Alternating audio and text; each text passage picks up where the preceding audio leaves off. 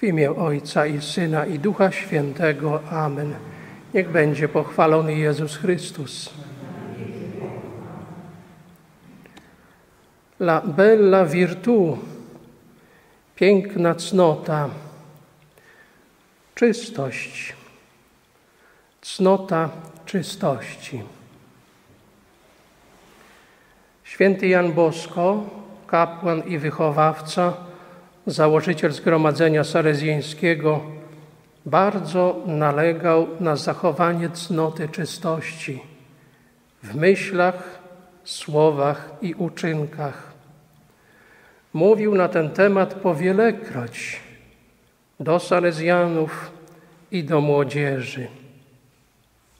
Pisał między innymi cnotą najbardziej potrzebną, cnotą wielką, cnotą anielską, cnotą, której towarzyszy orszak wszystkich innych cnót, jest cnota czystości. Kto posiada tę cnotę, może zastosować do siebie słowa Ducha Świętego, a przyszły mi wraz z nią wszystkie dobra.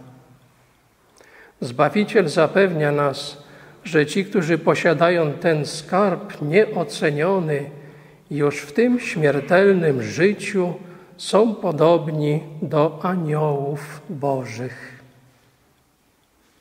A w konstytucjach salezjańskich z 1875 roku pisał: Kto poświęca życie dla opuszczonej młodzieży, musi koniecznie dokładać wszelkich starań, by się ubogacić wszystkimi cnotami.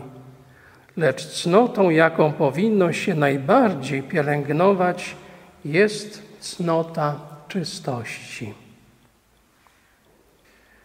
Nauka ciągle i nagląco aktualna dla duchownych, rodziców, wychowawców, nauczycieli i młodzieży. La bella virtu, piękna cnota, czystość, cnota czystości. Święty Pius X w katechizmie naucza o szóstym i dziewiątym przykazaniu Bożym. Czego zakazuje szóste przykazanie Boże? Nie cudzołóż. Szóste przykazanie Boże, nie cudzołóż, zakazuje wszystkich uczynków, a nawet spojrzeń i słów, które sprzeciwiają się czystości. Przykazanie to zakazuje również niewierności małżeńskiej. Czego zakazuje dziewiąte przykazanie Boże? Nie pożądaj żony bliźniego Twego. Dziewiąte przykazanie Boże wyraźnie zakazuje wszelkich pożądań przeciwnych wierności, którą ślubowali sobie małżonkowie przy zawieraniu małżeństwa a ponadto zakazuje wszelkich zawinionych myśli albo pragnień, które są zakazane w szóstym przykazaniu Bożym. Czy nieczystość jest poważnym grzechem? Nieczystość jest nader poważnym grzechem w oczach Boga i ludzi, gdyż zniża człowieka do poziomu nierozumnych zwierząt, pociąga do wielu innych grzechów i wad, a także przynosi najstraszniejsze kary zarówno w życiu doczesnym, jak i w przyszłym. Czy każda myśl przeciwko czystości jest grzechem? Nie każda myśl przeciwko czystości jest sama z siebie grzechem, ale jest raczej pokusą i okazją do grzechu. Kiedy złe myśli stają się grzechem, złe myśli, nawet gdy nie wynikają z nich złe uczynki, stają się grzechem, gdy podejmujemy je w zawiniony sposób, gdy wyrażamy na nie zgodę, albo wystawiamy się na bliską okazję do wyrażenia tej zgody. Co nakazuje szóste i dziewiąte przykazanie Boże? Szóste przykazanie Boże nakazuje, abyśmy byli czyści i przyzwoici uczynkach, spojrzeniach, w zachowaniu i w mowie. Natomiast dziewiąte przykazanie Boże nakazuje ponadto, abyśmy byli również czyści wewnętrznie, to znaczy w umyśle i w sercu. Co musimy czynić, aby zachować szóste i dziewiąte przykazanie Boże? Aby móc zachować szóste i dziewiąte przykazanie Boże, musimy się często, szczerze modlić do Boga. Mieć szczególne nabożeństwo do Najświętszej Maryi Panny, Matki Czystości. Pamiętać, że Bóg patrzy na nas. Myśleć o śmierci, o karze Bożej oraz o męce Jezusa Chrystusa. Strzec zmysłów i praktykować umartwienia chrześcijańskie, a także często przyjmować sakramenty święte po odpowiednim przygotowaniu. Czego musimy unikać, aby zachować czystość? Aby zachować czystość, musimy unikać lenistwa, złego towarzystwa, lektury złych książek i gazet, nieumiarkowania w jedzeniu i piciu, oglądania nieprzyzwoitych rzeźb i obrazów, gorszących widowisk, niebezpiecznych rozmów i wszystkich innych okazji do grzechu. Drodzy wierni, te cenne wskazania świętego Piusa X niech nam będą pomocą, aby nie ustawać w walce o zachowanie cnoty czystości, grzechu zdecydowanie unikać, okazji do grzechu zdecydowanie unikać i wytrwać na drodze dobra, łaski, czystości. Panowanie nad sobą jest wymogiem wiary katolickiej. Kultywowanie cnoty czystości w myślach, spojrzeniach, słowach i uczynkach nadaje katolikowi szlachetny rys arystokratyczny. Dobrodziejstwa zachowania cnoty czystości są rozliczne, a wśród nich jest trzeźwość myślenia i wytrwała gorliwość w służbie prawdy. Pisze apostoł narodów, rozpusta zaś i wszelka nieczystość albo chciwość, niech ani nie będą wspominane wśród was, jak przystoi świętym, albo sprośność, albo głupia mowa, albo nieprzystojne żarty. To bowiem wiedzcie i rozumiejcie, że żaden rozpustnik, albo nieczysty, albo chciwiec, to znaczy bałwochwalca, nie ma dziedzictwa w Królestwie Chrystusowym i Bożym. Niech was nikt nie zwodzi próżnymi słowami dla tych bowiem rzeczy przychodzi gniew Boga na synów niedowiarstwa. Nie bądźcie więc ich wspólnikami. W oficjalnej strukturze posoborowej coraz zuchwalej dochodzą do głosu koncesje dla nieczystości. Nie należy ludzi zwodzić, ukazując, że jest to problem niemiecki. Nie tylko. Już pewne koncesje ośmielające do przyjmowania komunii świętej przez osoby żyjące w związkach nieregularnych zawarte są w Acta Apostolice Sedis. W tych antykatolickich nurtach łączących wiarę i nieczystość naruszone są aż cztery sakramenty. Najświętszy sakrament, sakrament pokuty, małżeństwo i kapłaństwo. Strzeżmy się herezji i świętokradztw płynących z Watykanu. Konstatacja historyczna. Herezja często łączy się z niezachowaniem cnoty czystości przez heretyków. Tak było w przypadku Lutra i wielu, wielu innych. Strzeżmy się herezji, strzeżmy się nieczystości. La bella piękna cnota, czystość, cnota czystości. Katolik odznacza się kulturą bycia. Kultura bycia to także znaczy kultura myśli, słowa, czynu, zachowania, twórczości, publikacji.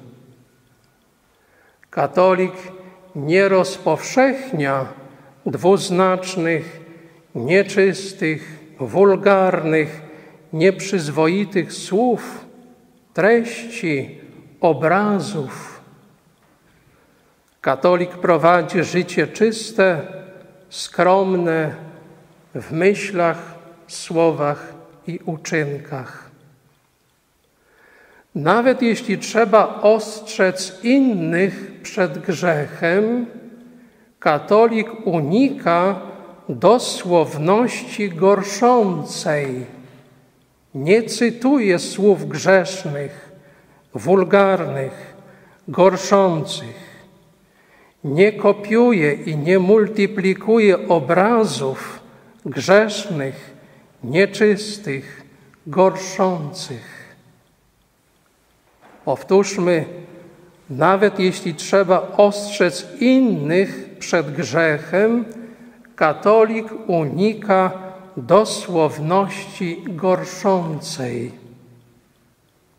Bardzo to jest katolicka praktyka, szlachetna pruderia, oględność, powściągliwość, skromność. O pewnych sprawach ani nie wspominać. Nec nominetur. Zdaje się, że w tej kwestii niektórzy już sobie sumienie ustawili niepoprawnie. Trzeba je poprawić. Pan Bóg udziela człowiekowi upoważnienia, jest to upoważnienie do realizacji dobra i tylko dobra. Nie mamy upoważnienia do realizacji zła. Człowiek nie ma prawa do grzechu. Mamy upoważnienie do realizacji dobra. Święta nasza powinność. Księga Eklezjastyka mówi o Bogu. Nikomu nie rozkazał źle czynić, nie dał nikomu pozwolenia grzeszyć. Przejawem miłości Pana Boga do nas jest między innymi to, że Pan Bóg codziennie szeroko otwiera nam możliwości realizacji dobra. Pan Bóg codziennie upoważnia nas do realizacji dobra. Pan Bóg codziennie uzdalnia nas do realizacji dobra. Pan Bóg codziennie zobowiązuje nas do realizacji dobra. Mamy wolną wolę. Wolna wola jest nam przez Pana Boga dana po to, aby wybierać i realizować dobro i tylko dobro. Święty Paweł pisze: Wiecie bowiem, jakie rozkazania dałem Wam przez Pana Jezusa. Ta bowiem jest wola Boża, uświęcenie Wasze, żebyście się powściągali od rozpusty, aby każdy z Was umiał ciało swoje utrzymywać w świętości i poszanowaniu, nie w namiętności porządliwej, jak i poganie, którzy nie znają Boga. Albowiem mścicielem tego wszystkiego jest Pan, jak wam to przedtem mówiliśmy i oświadczali. Albowiem nie wezwał nas Bóg do nieczystości, ale do uświęcenia się. A przeto kto tym gardzi, nie gardzi człowiekiem, ale Bogiem, który także dał nam Ducha swego świętego. I oko też musi czuwać, bo tak uczy Pan Jezus. Każdy, kto porządliwie patrzy na kobietę, już się w swoim sercu dopuścił z nią cudzołóstwa. Pisze apostoł narodów, od wszelkiego rodzaju zła się wstrzymujcie. Do małżonków, małżeństwo czcigodne we wszystkim, a łoże niepokalane, albowiem rozpustników i cudzołożników Bóg będzie sądził. A do młodego duchownego pisze święty Paweł: Niechaj nikt nie lekceważy Twego młodego wieku, lecz wzorem bądź dla wiernych w mowie, w obejściu, w miłości, w wierze, czystości. Pan Jezus daje piękną i niezawodną obietnicę, prawdziwą Błogosławieni czystego serca, albowiem oni Boga oglądać będą. Drodzy wierni, pisze święty Jan Apostoł, świat cały w złym jest pogrążony. My dbajmy z najwyższą troską o czystość swojej duszy Dbajmy z najwyższą troską o czystość swoich myśli. Dbajmy z najwyższą troską o czystość swoich pragnień. Dbajmy z najwyższą troską o czystość swoich spojrzeń, swojego wzroku. Dbajmy z najwyższą troską o czystość swoich zainteresowań. Dbajmy z najwyższą troską o czystość swoich słów. Dbajmy z najwyższą troską o czystość swoich uczynków. Dbajmy z najwyższą troską o czystość swoich publikacji. Dbajmy z najwyższą troską o to, by nie dawać innym powodu do grzechu by innych nie gorszyć, by nie dodawać swojego grzechu do grzechów, które rozmnożyły się ponad miarę i są nieskończoną obrazą Boga. Jedna wskazówka praktyczna, jak ustrzec się grzechów przeciwnych czystości. Trzeba praktykować ucieczkę od grzechu i ucieczkę od okazji do grzechu. Fuga peccati. Fuga peccati. Ucieczka od grzechu. Nigdy dobrowolnie nie narażam się na grzechy. Nigdy dobrowolnie nie narażam się na pokusy. A gdy pokusy przyjdą, natychmiast od nich uciekam. Jeśli pokusę oddalam natychmiast, o ileż łatwiej jest pokusem przezwyciężyć i jej nie ulec. Jeśli pokusy oddalam natychmiast, daję Panu Bogu jasny znak szlachetności i prostolinijności mojego serca, które chce dochować wierności. Fuga peccati, ucieczka od grzechu. La bella virtù, piękna cnota, czystość, cnota czystości. Niepokalana niech nas uczy codziennie przepięknej cnoty czystości, abyśmy ją zachowali wiernie w myślach, słowach i czynach. Bądźmy pojętnymi uczniami i prośmy Matkę Bożą codziennie o pomoc w doskonałym zachowaniu cnoty czystości. Kiedy dzisiaj, za chwilę, z pokorą i z czystym sercem będziemy klękać, aby przyjąć dar największy, najświętszy sakrament, niech modlitwą naszego serca będą słowa pieśni. Bądźże pozdrowiona, hostyjo żywa, w której Jezus Chrystus bóstwo ukrywa.